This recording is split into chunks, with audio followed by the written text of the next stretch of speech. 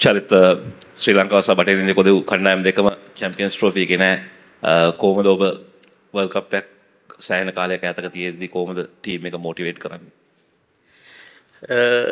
ඇතරම වර්ල්ඩ් කප් එක ගැන තාම හිතලා නැහැ. නමුත් මම බලන්නේ කොහොමාරිය කණ්ඩායමත් එක්ක අර අර මම කලින් කිව්වාගේ හොඳ එන්වයරන්මන්ට් එකක් හදලා දිග කාලයක් කොහොමද සීරීස් වින්ස් ගහගෙන අපි යන්නේ කියලා එතකොට අපිට හරි වෙලාවෙදි පීක් වෙන්න පුළුවන් වර්ල්ඩ් කප් එක ලඟ වෙද්දී.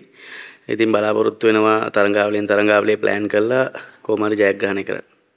ඔබගේ කම්බිනේෂන් ගැන පොඩක් කියන්න පුළුවන්ද මොකද සීම් බෝලිං ඕල් රවුන්ඩර්ස්ලා දෙන්නෙක් ඉන්නවා ස්පින් බෝලිං ඕල් රවුන්ඩර් කෙනෙක් ඉන්නවා බැටිං ලයින් අප් එක ගොඩක් දුරට සෙට් ඒ වගේම මතිෂයි නුවන් තුෂාරයි සයිඩ් එකේ නැහැ ඔය අයිතර කම්බිනේෂන් එක පොඩක් කිව්වොත් එහෙම මම හිතන්නේ වේග පන්දු යන විදිහට අසිත ෆර්නෑන්ඩු හොඳින් ක්‍රීඩා කරා ඉන්දියන් තරගාවලියේ.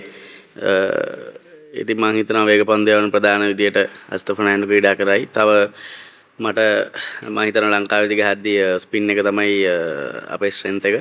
එතකොට මට හොඳ ස්පිනර්ලා තුන් දෙනෙක් ඉන්නවා. බලාපොරොත්තු වෙනවා ඒ තුන් දෙනාම කණ්ඩායමේ ක්‍රීඩා කරනවා අපිට පහුගේ කාලේ තිබුණ ලොකු ප්‍රශ්නයක් තමයි සීම් බෝලිං ඕල් රවුන්ඩර් කෙනෙක්. නැති එක. දැන් චමිඳු ඉන්නවා ආපහු ස්කොඩ් එකට ඇවිල්ලා. එයා T20 විතරයි ගහලා තියෙන්නේ.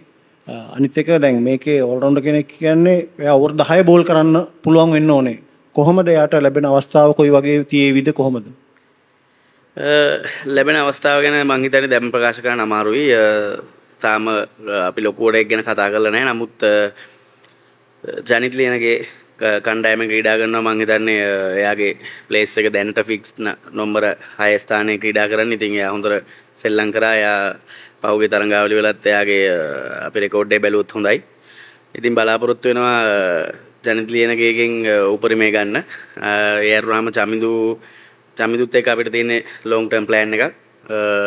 ඉතින් එයාට පොටෙන්ෂල් එක තියෙනවා සෑහෙන දුරට අර ජෙනුවින් ඕල් රවුන්ඩර් කියන පාර්ට් එක කරන්න. මම පෞද්ගලිකව හිතනවා තව පන්දුවේම දියුණු වෙන්න ඕන. මම යත් එක්ක කතා කරනවා තව අපි කණ්ඩායමක් විදිහට පුහුණු කරුවොත් යත් එක්ක වැඩ කරනවා.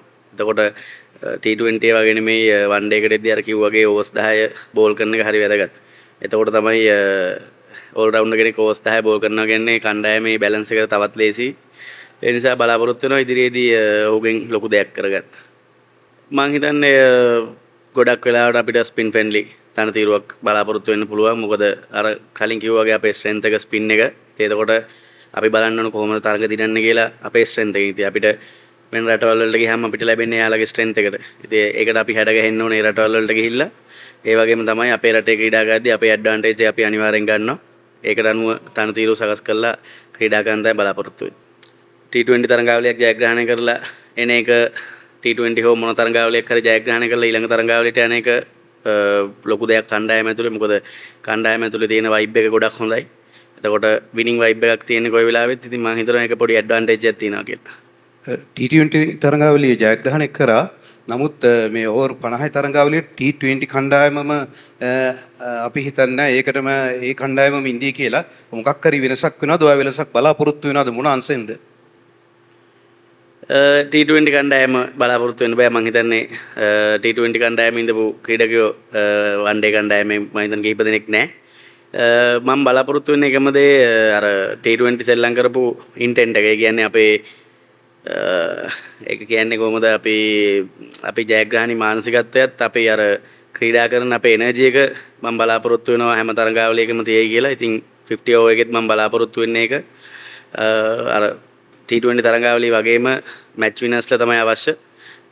අපි දැක්කා අපි ජයග්‍රහණය කරපු තරඟ දෙකෙත් අපිට මැච් විනර්ස්ලා හිටියේ කියන්නේ ගහලා ඉවර කරනවා මැච් එක අන්තිම තරඟෙත් දෙන්නෙක් ගහලා ඉවර කරා 160ට ගහන්න එක විකට් එකයි ගියේ. ඒ වගේ දේවල් තමයි මම හිතන්නේ කණ්ඩායමක් විදිහට අපි ඉදිරියට බලාපොරොත්තු වෙන්නේ පර්ෆෝම් කරන දවසට ලොකුවට පර්ෆෝම් ගන්න. ඒ කියන්නේ 100ක් 150 200ක් ගහන්න පුළුවන් නම් ඒක ගහන්න. විකට් ගන්න දවසට විකට් පහක් හයක් හතක් ගන්න පුළුවන් නම් ඒක ගන්න කියන එක තමයි අපි එන්කරේජ් කරන්නේ ක්‍රීඩකයන්. කමිතු වෙන්ඩිස්ට එක් දින කණ්ඩායමේ නිත්ති ස්ථානයක් ලැබෙනවද? මොකද අන්තිමට ක්‍රඩා කරපු එක් දින තරගේ කමිතු වනිතුගේ පලේසගේ තමයි බැට් කරේ. තකොට වනිතු ටීම් එකට ඇති ජෙෆ්‍රි වැන්ඩසේට මොකද වෙන්නේ?